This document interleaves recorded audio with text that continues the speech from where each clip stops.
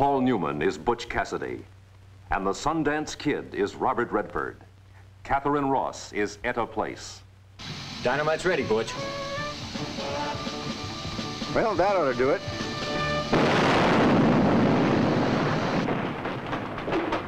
Think you use enough dynamite there, Butch?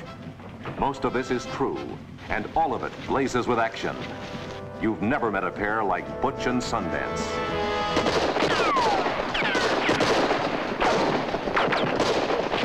Well, we're back in business, boys and girls. Outlaws with style, in a class all their own. You know, when I was a kid, I always thought I was going to grow up to be a hero. Don't tell me how to rob a bank. I know how to rob a bank. And anything you ask of me, I'll do. Except one thing. I won't watch you die.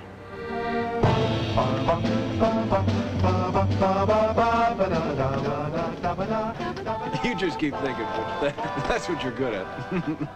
An incredible pair of rugged adventurers, creating a living legend on two continents. But it's just one guy. Don't you get sick of being right all the time? They robbed trains, Stop it. looted banks, Manos arriba. They got him up! Ah, you're so damn smart, you read it. and one girl shared their love and larceny. Raindrops keep falling on my head.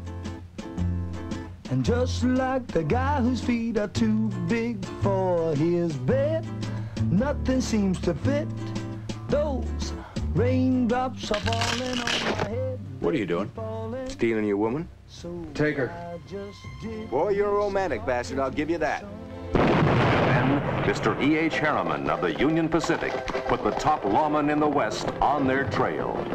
They're very good. If he'd just pay me what he's spending to make me stop robbing him, I'd stop robbing him.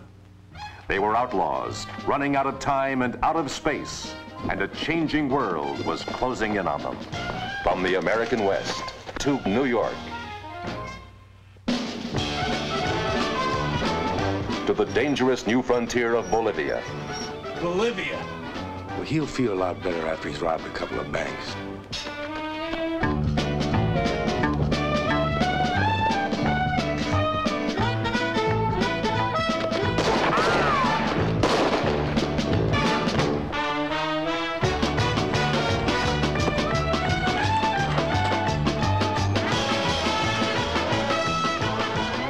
I'll jump first.